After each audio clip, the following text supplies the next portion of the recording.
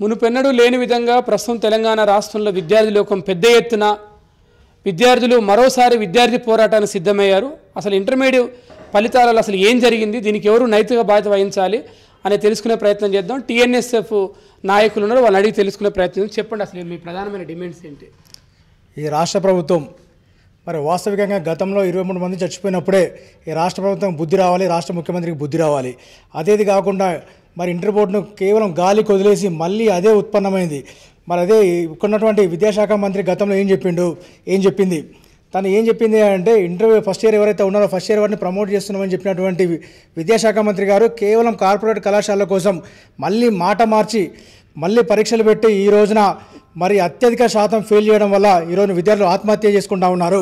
ఈ ఆత్మహత్యలకు పూర్తి బాధ్యత ఈ రాష్ట్ర ప్రభుత్వం వహించాలని చెప్పేసి మేము డిమాండ్ చేస్తూ ఉన్నాము. అదేవిధంగా మా ప్రధాన డిమాండ్ అదే ఇప్పుడు జరగబోయే రివాల్యుయేషన్ పెట్టేసి ఏదైతే రివాల్యుయేషన్లో మొత్తం అందరు కూడా మినిమం పాస్ మార్క్స్ వేసి అందరినీ పాస్ చేయాలని చెప్పేసి మరి అదేవిధంగా చనిపోయిన విద్యార్థులకు ఇంటికి ఒకరికి చొప్పున ఇరవై లక్షల రూపాయల ఎక్స్క్రేషన్ చెల్లించాలని చెప్పేసి ప్రధానంగా డిమాండ్ చేస్తూ ఉన్నాము. గతంలో కూడా విద్యార్థులు ఆత్మహత్యలు చేసుకున్నారు. గతంలో కేటీఆర్ గారు తన అనుకూలమైనటువంటి మిత్రుడికి కంపెనీకి ఇవ్వడం మూలంగా ఇప్పుడు కూడా మళ్ళీ ముగ్గురు చేసుకున్నారు. ఇంకెంతమంది చేసుకునేది ఉంది? ఎప్పటి వరకు ప్రభుత్వం స్పందించదు? ఈ ప్రభుత్వం ఎట్లా ఉందంటే అసలు తెలంగాణ రాష్ట్ర ప్రభుత్వం ఇప్పటివరకు ముగ్గురు విద్యార్థులు ఆత్మహత్య చేసుకుంటే కూడా ఒక ధైర్యం ఇచ్చే విధంగా ఈ రాష్ట్ర మంత్రివర్యులు కానీ ముఖ్యమంత్రి వర్యులు కానీ బయటకు వచ్చి ఒక ప్రకటన చేయలేని దౌర్భాగ్య స్థితి- స్థితిలో ఈరోజు తెలంగాణ రాష్ట్ర ప్రభుత్వం ఉంది. దీని మీద వెం- వెంటనే మరి రాబోయే ఇరవై నాలుగు గంటలకి స్పష్టమైన ప్రకటన చేయకపోతే ప్రగతి భవన్ ముట్టడిస్తామని చెప్పి సందర్భంగా మేము డిమాండ్ చేస్తూ ఉన్నాం రాష్ట్ర ప్రభుత్వాన్ని. విద్యార్థులకు ఏం చెప్పాలంటున్నారు? విద్యార్థి సంఘాల నాయకులుగా ఎందుకంటే వాళ్ళంతా ఇంటర్మీడియట్ టీనేజర్స్. వాళ్ళంతా కూడా ఫెయిల్ అయ్యామనేటువంటి ఒక అన్యూనత భావంతో ఆత్మహత్యలు చేసుకుంటున్నారు. ఆ విద్యార్థులు మీతో ఏ విధంగా పోరాటానికి రావాలి? ఈ రోజు నేను ఇంటర్మీడియట్ చదివే విద్యార్థులందరూ కూడా ఒకటే మేము మనవి చేయదలుచుకున్నాం. మీ వెనకాల టీఎన్ఎస్ ఉండి పోరాటం చేస్తే ఎవరు కూడా ఆత్మహత్య చేసుకోవద్దు. ఆత్మస్థైర్యాన్ని కోల్పోద్దని చెప్పేసి మేము వారి వెనకాల ఉండి వారి కోసం పోరాటం చేస్తామని చెప్పి ఈ సందర్భంగా తెలియజేస్తా ఉన్నాం. టీఎన్ఎస్ఎఫ్ ఇతర విద్యార్థి సంఘాలు కలిసి పనిచేస్తా అంటే గతంలో చాలా సందర్భాల్లో రాష్ట్రంలో ఉమ్మడి విద్యార్థి సంఘాల ఐక్య కార్యాచరణ కమిటీ పనిచేసింది. ఈ విషయంలో కూడా విద్యార్థి సంఘాలు ఉమ్మడి ప్లాట్ఫామ్ మీదకి వచ్చే అవకాశం ఉందా? తప్పకుండా మేము కలిసి పోరాటం చేయడానికి సిద్ధంగా ఉన్నాము. మనం చూసాం ఏదేమైనప్పటికీ కూడా ఇప్పటికే జరగాల్సిన నష్టం పెద్ద ఎత్తున జరిగింది.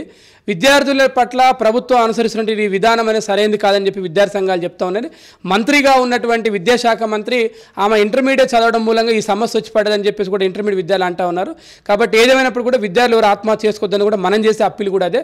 పేరెంట్స్ కూడా విద్యార్థులు ఫెయిల్ అయినందుకు ముఖ్యంగా ఇక్కడ ఇంకో ప్రశ్న ఉంది. చాలామంది పేరెంట్స్ దీన్ని ఒక సోషల్ స్టేటస్గా తీసుకొని వాళ్ళ పిల్లలు ఫెయిల్ అయినందుకు వాళ్ళని వాళ్ళని ఇంకా ఎక్కువ మానసికంగా ఇబ్బంది పెడుతున్నారు. ఎస్పెషల్లీ కార్పొరేట్ విద్యా సంస్థల్లో లక్షలు లక్షలు తగలబెట్టి చదివించిన వాళ్ళ పరిస్థితి. నేను దయచేసి నేను పేరెంట్స్కి ఒకటే చెప్తా ఉన్నాను నేను. పిల్లల మీద ఒత్తిడి తీసుకురావద్దు. ఎందుకంటే ఇది రాష్ట్ర ప్రభుత్వం చేసిన తప్పిదం కాబట్టి ఇది పిల్లల మీద ఒత్తిడి తీసుకురావద్దని చెప్పి చెప్తా ఉన్నాను. అదేవిధంగా ఈ రోజున ఫెయిల్ అయిన ప- విద్యార్థుల పరిస్థితి చూస్తే గవర్నమెంట్ కళాశాలలో చదివిన వాళ్ళు మాత్రం అత్యధికంగా ఉన్నారు. ఎందుకంటే కరోనా సమయంలో వాళ్ళకి మరి ఆన్లైన్ విద్య అందకపోవచ్చు. అదేవిధంగా కొంతమందికి ట్యాబులు లేక వివిధ వివిధ కారణాల వల్ల వారు విద్య అందకపోవడం వల్ల ఫెయిల్ అయినారు కాబట్టి దీనికి పూర్తి బాధ్యత రాష్ట్ర ప్రభుత్వం అని తెలియజేస్తూ దయచేసి నేను విద్యార్థి తల్లిదండ్రులను ఒకటే కోరుతా ఉన్నాను. విద్యార్థి ఒత్తిడి తీసుకురావద్దని వారిని నేను వేడుకుంటా ఉన్నాను నేను.